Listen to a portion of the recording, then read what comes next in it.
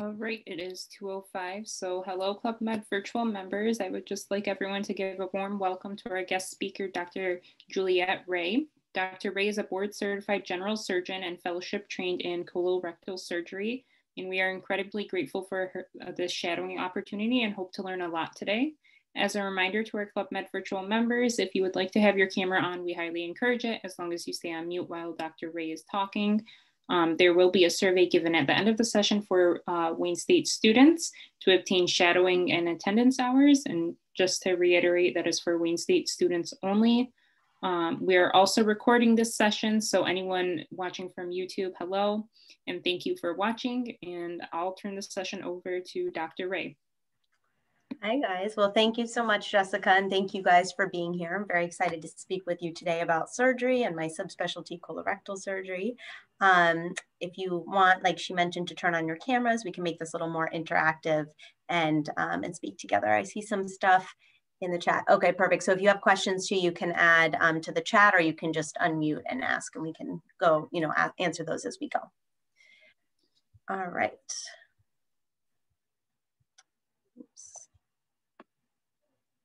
Okay, so here's a little outline of what we're going to talk about today. So first I'll tell you a little bit about me and what it takes to become a surgeon. Um, then I'll tell you what colorectal surgery is, because it's a little bit of a misnomer. Um, and then we'll go through a day in the life of a surgical resident. So if you're planning to go to medical school and eventually residency, you'll get a little glimpse into that. And then we'll play a little game called general surgery true or false and um, then go through a case presentation. So um, I'll leave you with some advice as well to future med students. All right, so um, in terms of my background, um, I am a affiliated assistant professor at University of Miami um, Miller School of Medicine, which is where I did my medical school and my residency actually. So I did seven years of general surgery residency there. As you can see, which was five years of residency plus two clinical research years. So most general surgery residencies now are the five clinical years plus two additional years, some program one additional year. So you're looking at, you know, basically about seven years of residency. And then I did a one year fellowship at New York University. Um, so you want to become a surgeon. What does that look like? So as you guys know, you're an undergrad now, most of you, I believe. So you're doing your pre-med requirements, um, taking your MCAT.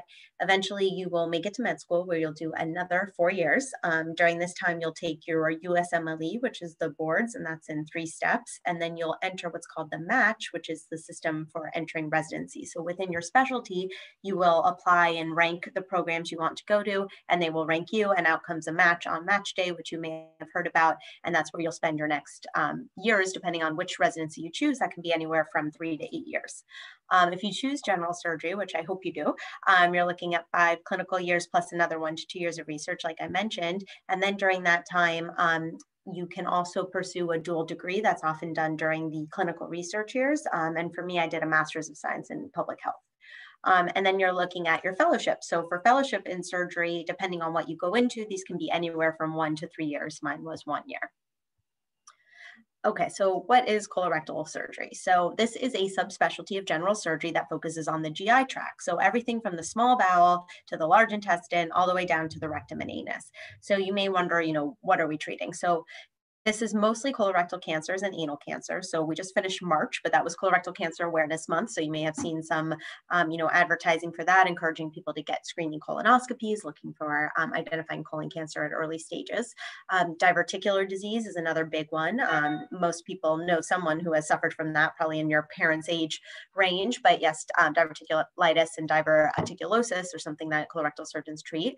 And then bowel obstructions, meaning a blockage in the intestine, can be due to many things things that you see listed there, for example, volvulus, strictures, adhesions, or masses. Um, another uh, particular focus of our field is inflammatory bowel disease. So um, that's Crohn's and ulcerative colitis. I just finished a case, um, like a five hour surgery for Crohn's disease um, uh, this morning. And then anal rectal pathology. So these are kind of like the bread and butter, little easy things that we deal with on the daily. So things like hemorrhoids, fissures, fistulas, abscesses, pilonidal disease. You've probably heard of those. And then also management of functional disorders. So um, incontinence, constipation, pain syndromes, we work with the GIs or the gastroenterologists to take care of patients with these conditions that are refractory to medical management. All right, so what does a day in the life of a surgery resident look like? I remember when I was in um, when I was in uh, undergrad, I remember that was like, well, I don't want to like tell you how old I am, but that was when Grey's Anatomy was coming out, and we would all watch with my sorority. We would all watch Grey's Anatomy, and we thought, you know, oh, this must be what residency is like. And to be honest, it's not so so far off.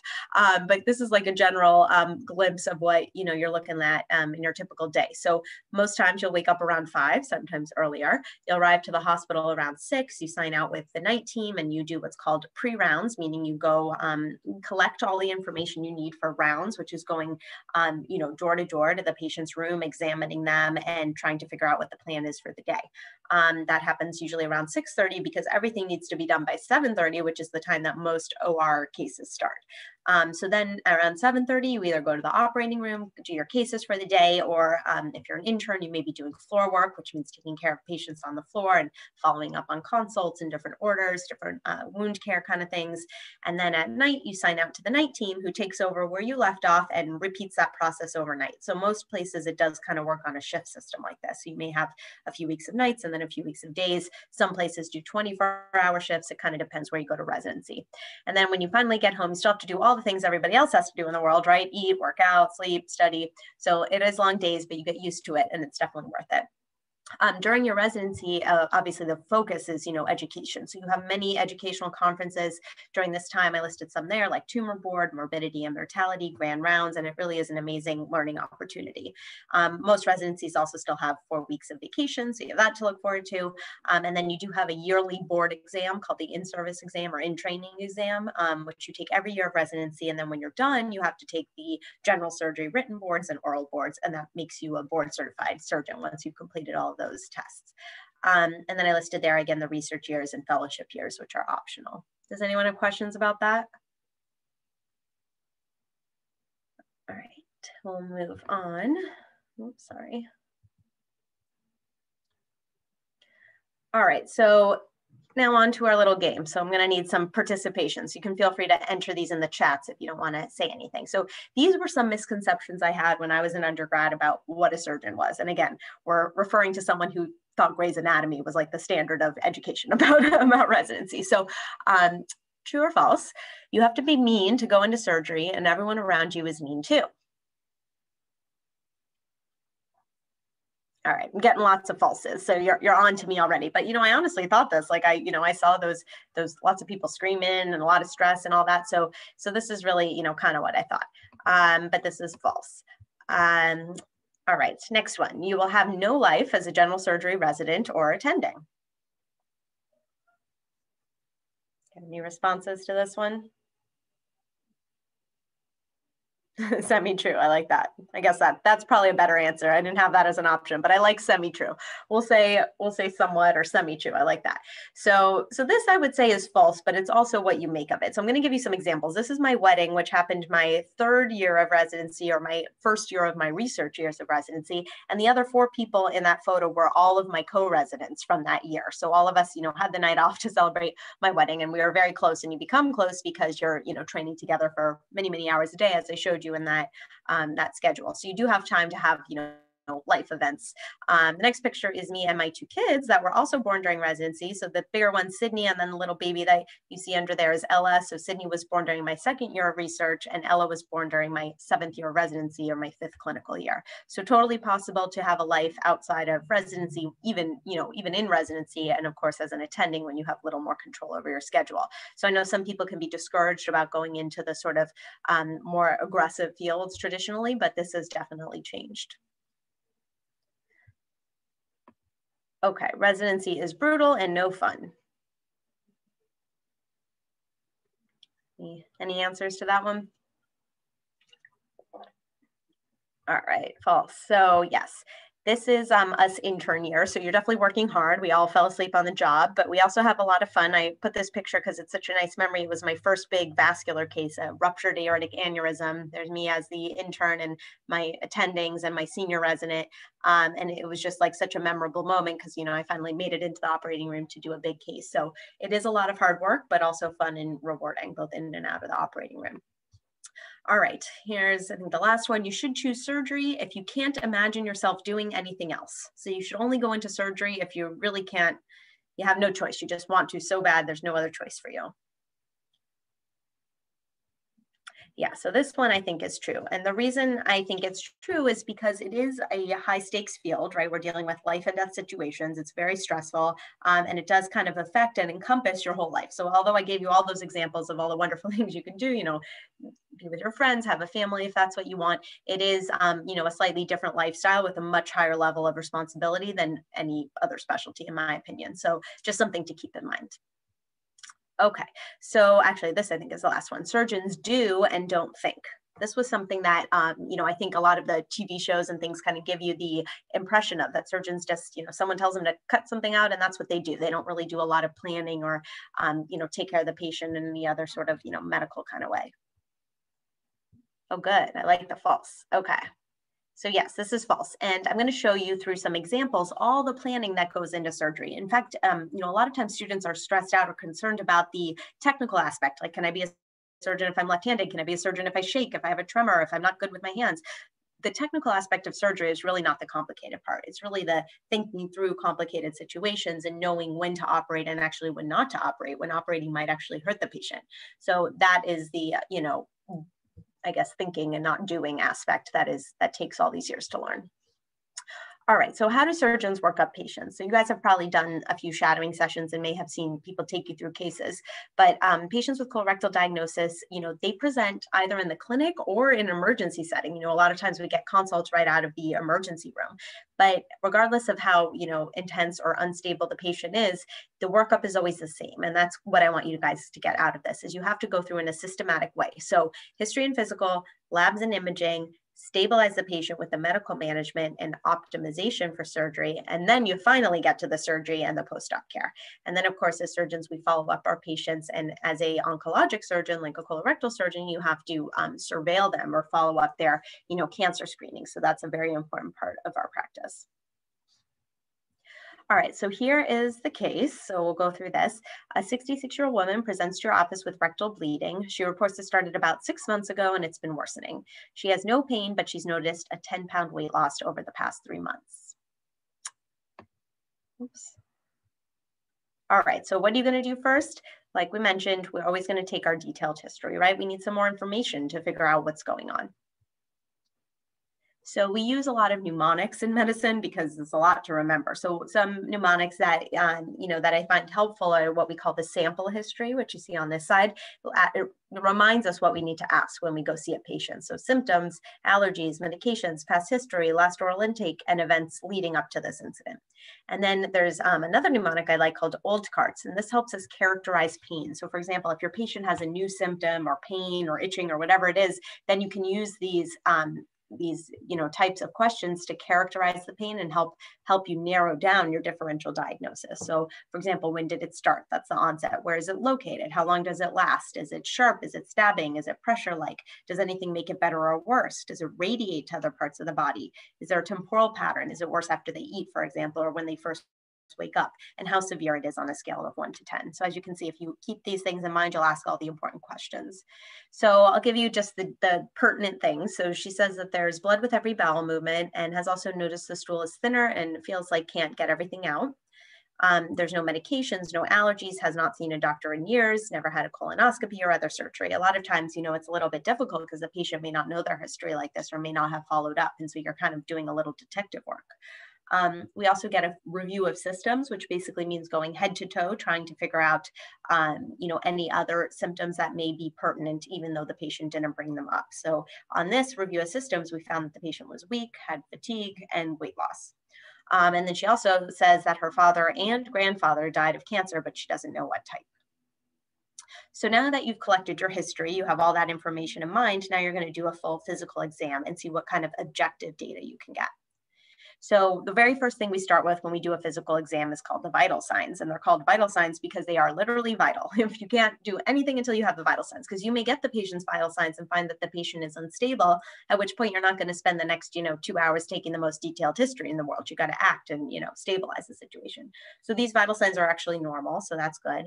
And then we examine the patient and she's a little bit distended or bloated, um, but the belly is soft. It's not firm or peritonitic as we call it. Um, and there's no previous surgical scars, which goes along with her history. And then you do what's a, called a DRE, a digital rectal exam. And here we're looking for a mass that we can feel, or if there's any blood, and there wasn't in this case. Any questions about that so far? All right, so the very first thing you have to ask yourself as a surgeon or a medical student or a resident going to work up a patient with a potential surgical diagnosis is, is the patient stable or unstable? So what do you guys think, stable or unstable?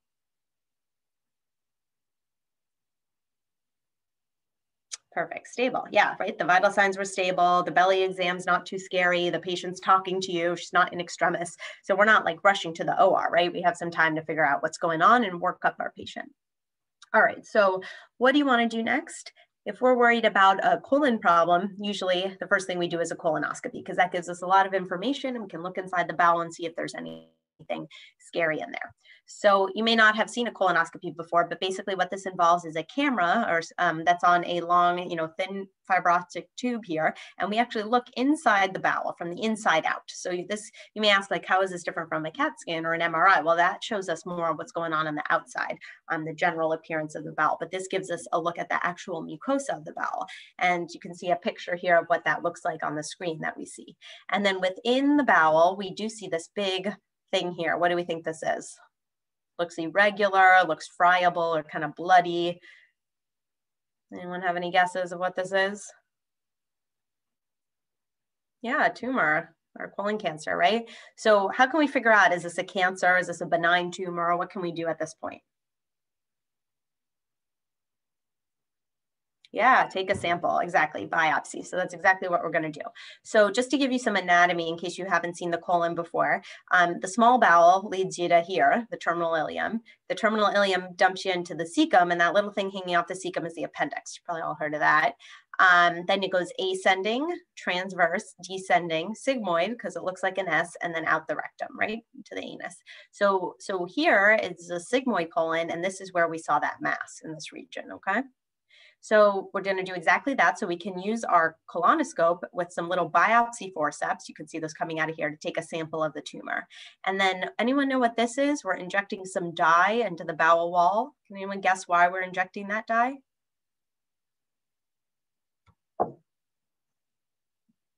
For CT, that's a good guess. Any other guesses? So eventually, when we go to operate on this patient, we want to know where that tumor is, right? Because now we're going to be in the belly looking at the outside of the bowel, and we might not necessarily see the inside of the bowel where we saw the tumor before, right? Especially if it's pretty small. So we use tattoo, literally like ink tattoos from to, to tag it in multiple locations around the tumor on the inside so that it goes through the bowel wall and we see it from the outside. Yeah, someone wrote marking. So exactly right. Um, so this is especially important for sort of smaller tumors. So now that we have our biopsy, we know we have a sigmoid colon tumor, we took some pathology, it told us it was adenocarcinoma. Now we have to do staging. So I'm sure all of you guys have heard stage of the cancer, right? Or it's advanced stage, it's early stage. So staging basically refers to two things, the local involvement of the tumor and if there's any distant disease, distant metastatic disease, for example, meaning like a tumor in the mm-hmm. liver that's spread from the colon or in the lungs. So we use CT, chest, abdomen, and and pelvis to look across the whole body, and that was negative. So we know we're not stage four because stage four means metastatic.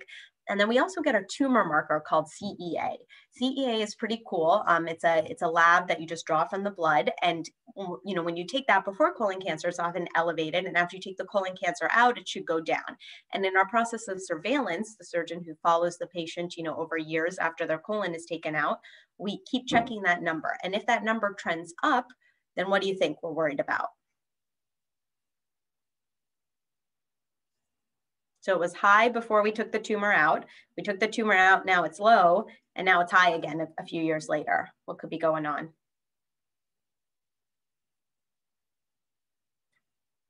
All right, I got no guesses, but basically we're worried that it recurred. Um, yeah, or new tumors, exactly. So either the tumor recurred back, you know, maybe the margins weren't negative and it recurred back in the colon, or maybe new tumors popped up in different parts of the body because you're not getting every microscopic tumor cell, right? You're just taking out the gross tumor. So um, that's some, some way that we use to kind of keep track of how the disease is. So now this goes back to the part about surgeons thinking and not doing is now the question comes up, do we operate? Can we operate? Should we operate? That's the hardest part about being a surgeon, right? So there's really two main questions we have to ask ourselves in this situation. One is, is it resectable? That means, can we take it out? So for example, if there's a big tumor and it's invading everything and it's terrible, it's invading other vital structures, then we can't, it's not even possible to take that out safely, right? So that's question number one, is it resectable? And question number two is what are the patient considerations? Is there anything we can do to optimize our patient? Because this is an emergency.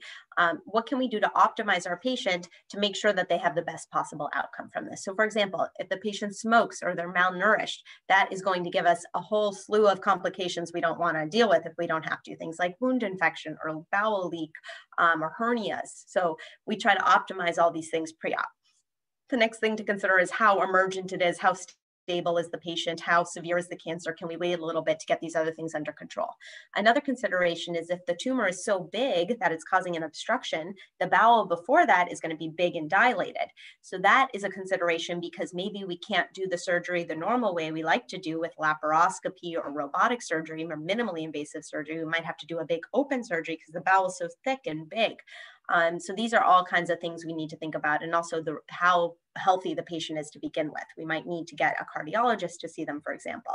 So lots of thought and um, and you know time needs to be spent to, to make sure the patient is in their best possible condition. So in terms of the types of surgery we, we can do on the colon, we can take out the part of the colon that's affected. So in our particular situation, the sigmoid colon is affected. So that's this kind of bottom left square. So this is the part of the colon we're aiming to take out. And then we want to reconnect the old colon uh, to the rectum or the top to the top of this, uh, you know, part that we took out here. All right, and um, as you can imagine, the blood supply is an important feature of this, right? Because we have to make sure that we take the blood supply high enough to include all the lymph nodes that like to live around the blood supply, because that's gonna be part of our sampling and ensuring that we get good control of the tumor. But we have to also make sure that the bowel is not killed. The good bowel we're gonna use is not killed because we took the blood supply. So this is why knowing the anatomy and understanding that is super important. So has anyone heard of or seen robotic surgery before?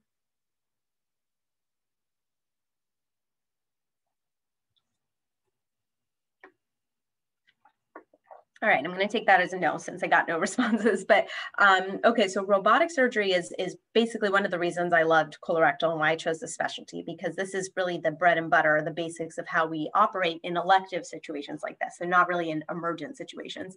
But um, this involves the, the operating surgeons sit at a console here, and the robot is at the bedside with small instruments that go through small holes in the belly. So the insult to the patient is much less because all the work is done on the inside as opposed to doing a big open incision where the work, you know, is done on the outside and then they have a lot of pain, risk of hernia, risk of wound infection, all these things. So this is sort of a robotic setup just to give you an idea.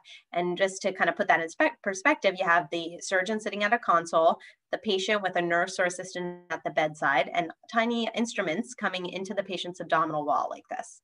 And this is what it looks like once it's inside the body. So you can see there's just tiny little holes and we're doing all this work basically um, through these tiny holes and instruments. And this is similar to laparoscopic surgery, if you've heard of that, but it allows a little bit more precision and better um, optics. The, the technology is better so we can see things much more clearly. So again, you can see the area of the colon we're trying to take out over here, the sigmoid colon, and then we're gonna reconnect the two ends. Um, so how do we reconnect the ends, right? If you think about colon surgery, I, I, like to keep it simple. So let's think about it as a pipe, like plumbing. You have a, you know, clog in the pipe, which is our tumor. So we're going to cut above that, cut below that, and then connect the two edges, right? So the way we do that is with a stapler called an EEA stapler. So the one end of the stapler goes through the anus into the remaining, you know, part of the bowel that has been cut off. And then the other end goes through the, the top part of the bowel and we close the stapler and fire it and it makes this new connection and puts it back in continuity. So we have a lot of really cool technology in surgery. So I just wanted to show you an example. This is something I use today. We call this ICG or indocyanine green um, fluorescence. So this is um, an example of how we can use this. So this is um, the ureter, if you've heard of that, is the tube that carries urine from the bladder, uh, from the kidney to the bladder. And it's always right in the area that we operate in as colorectal surgeons. And if you look at picture A, you can see you can't, to the untrained eye, right, it's really hard to see the ureter. You can't see it. And so you could easily injure it, and that could cause a big complication for the patient. But by using ICG in our ureters, we can, you know, they light up like a Christmas tree, right? So which surgeon do you want to be? The patient, the one operating on A or the one operating on B? I much rather know exactly where the ureters are, right? So that helps us kind of keep track of them and um, is some cool technology. And another fun thing we can do is we can actually give the ICG in the vein, IV, and then we can watch it perfuse the bowel and we can see after we take the blood vessels, like I showed you, what part of the bowel is perfused or what part of the bowel still has a good blood supply, because that's where we want to cut it, right? We want to leave the well perfused or well blood supplied bowel. And so here you can see the green where it dies off is, is where we would need to make our cut there. Any questions about that? All right, so then we go on to staging our cancer, and um, you know this is, gets a lot into the weeds. So I don't. The only thing I really want to take you to take away from the slide is how good the survival rate is for colorectal cancer. And that's where you can make a big difference as a surgeon. And another reason I like this specialty. So um, stage one cancer, the five-year survival rate is more than 95%. So that's pretty cool, right? Because if we catch these cancers early on colonoscopy with surgery alone, at five years, pretty much all the patients are, you know, still alive and doing well. Um, so you have a big impact on people's lives, you know, at this point as a colorectal surgeon.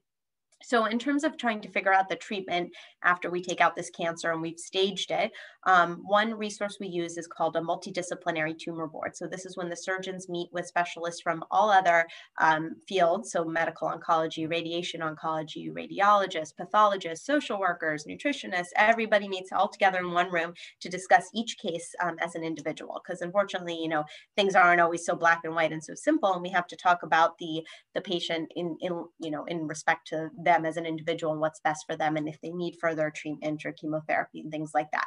So we review the tumor characteristics, the you know social situation of the patient, all the different factors that go into what kind of treatment the patient will need. And here's a picture of what the tumor might look like from the inside. This is just one example if we cut the bowel in half. And um, here you can see the blood supply. So this, you know, vessel, you can kind of see this little bump here. And then this is the sigmoid colon. So the tumor would have been somewhere in here. Um, so that's important to take this blood supply because we have um, going in here the lymph nodes that we're going to need to sample. All right, so did I convince you guys yet? Anyone a colorectal convert or surgery convert? Maybe one person? Okay. So you know people always ask why i chose this field mm-hmm. and why i really like it is because it um you know it you can still do general surgery if that's something you like and it's just you know a little bit of additional training that allows you to um to treat um you know in a, in a highly effective way some patients with a lot of complex conditions. So everything from the small bowel again all the way down to the colorectum anus and perianal situations so um the coolest thing about the field is really the variety and the fact that we get to use a lot of different techniques techniques. So we use minimally invasive surgery like laparoscopy and, and the Da Vinci robot, like I showed you, and we do endoscopy um, as well as traditional open surgery. Um, another thing I like about the field, like I mentioned, is being able to work in a multidisciplinary fashion with the GI doctors, the oncologists, and um, really having that team atmosphere. So colorectal, in my opinion, really has it all. And I think it's a great specialty um, for those of you interested in surgery. All right, so here are just a few pictures. So this is us at the robot. Um, this is doing a open case. Um, just so you can see some examples. Okay, so I'm going to leave you with a little bit of advice. Um, so those of you interested in medicine, which I'm assuming is pretty much all of you in this in this talk, um, I know this can be overwhelming and intimidating and really terrifying. And I can definitely remember being in your situation and just thinking, wow, there's just so far to go, and how how will this you know ever happen? Um, but it's also exciting, inspiring, and an unbelievable privilege. So you just have to remember that you deserve to be there and you have everything you need to succeed and just sort of take it step by step. So I have um, some advice that people sort of gave me along my path that I think may help you. So here are my five rules that I'm going to leave you with. So rule number one is pay attention to everything. I can't tell you how many times I think about, you know, when I was in undergrad or when I was in med school and it was a subject I wasn't really that interested in and I kind of blew it off. Um, you know, you're there, take advantage advantage of that opportunity to learn that information because you're not going to get it back and the time is really going to fly and you're going to realize you wish you paid more attention.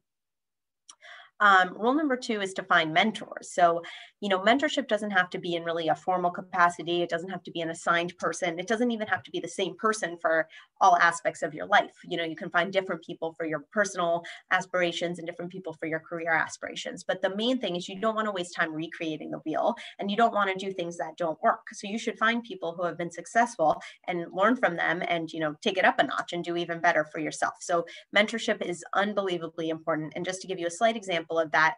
Um, I currently came back to Florida to join um, to my current partner, who I trained with as a medical student and resident in Miami when I was in training. Um, and she had always been a mentor to me. And, you know, I had an opportunity to work with her and start a new practice.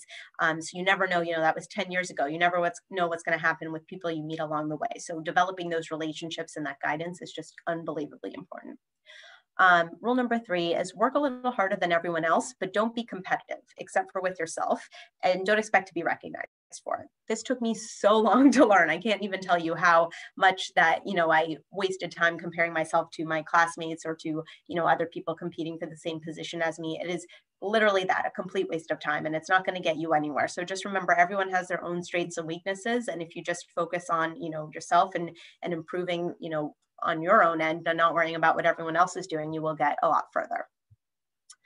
Uh, rule number four is be flexible. So this applies to everything, but in terms of being an undergrad and a med student eventually, you know, the main thing is to kind of, um, you know, apply this to your study strategy. So if you always have studied a certain way, or you've always tried to, you know, do research a certain way or whatever it is, and it's really not working or you're not getting the results you want, you need to kind of adapt and um, you know that's kind of a human nature right? We can adapt we can do things differently and change the path that we're on. Um, you know this also applies if you you know for sure think you're pre-med and then you divert to something else and take a few years off to do something else and want to end up back in the medical field. You know there's more than one way to skin a cat so you just have to be adaptable and rule number five is keep your eye on the prize. Because like we said, this is a long road. I showed you all the, you know, kind of steps to get there and even how grueling residency and training can be. But just keep your eye on the end game, which is, you know, eventually being able to be a surgeon, which is a huge, um, you know, opportunity and privilege to be able to help people or any kind of doctor really, um, or any healthcare field to really just be able to um, impact people's lives in that way.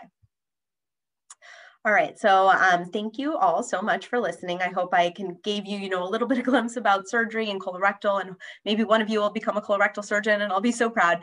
Um, but if you are interested, um, I put my Instagram there. I would love to, you know, connect with you over Instagram. I was recently sharing a lot about um, colorectal cancer awareness month, so you can find me on there and learn some fun facts about screening, and um, may help, you know, your family and friends who are 45, which is the screening age, um, and you know, any as you move on in your uh, pre med and, uh, and medical school careers, I also have some advice on there that may help. So um, please feel free to be in touch if you have any questions. And I'm also happy to take any questions now if we have.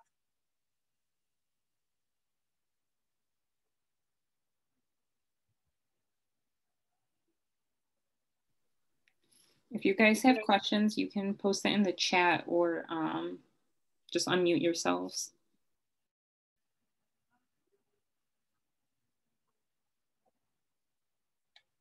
All right, and then if you don't have any and you want to kind of talk more offline, you can always um, message me on, on Instagram. We can get in touch that way.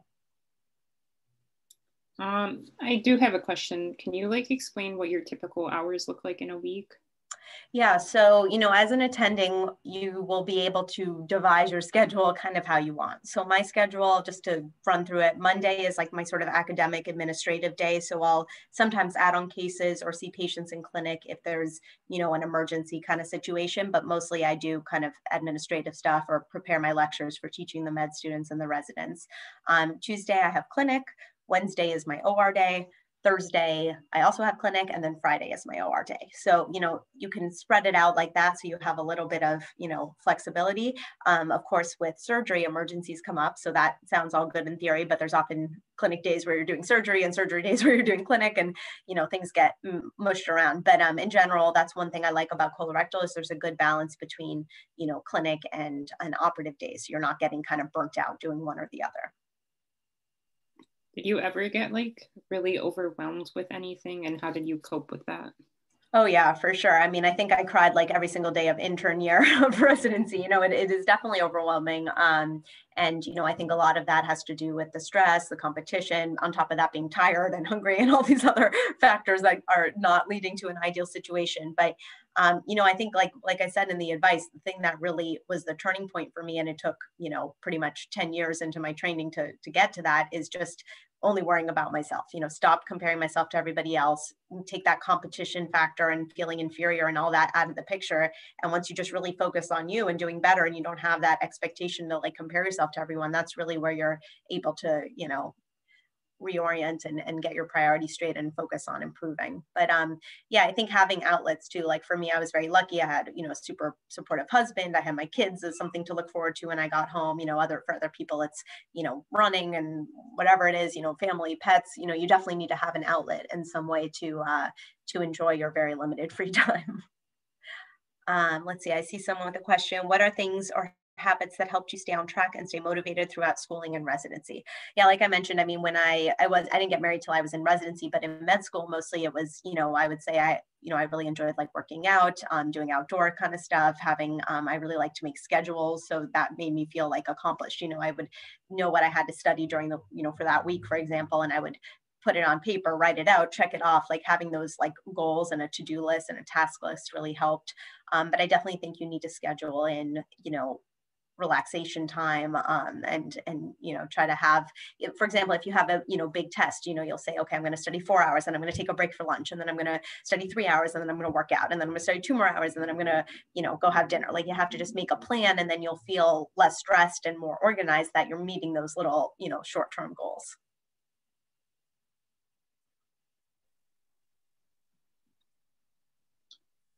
mm. Anyone else has a question?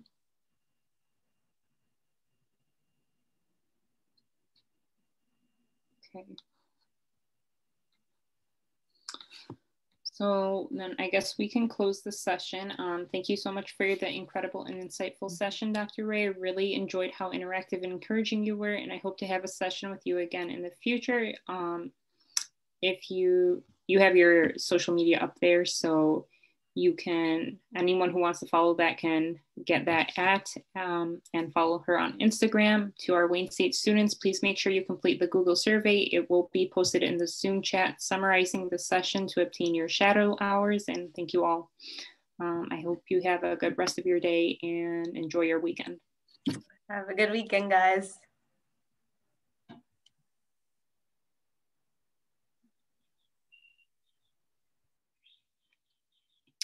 The survey link should be sent right now. It's right there.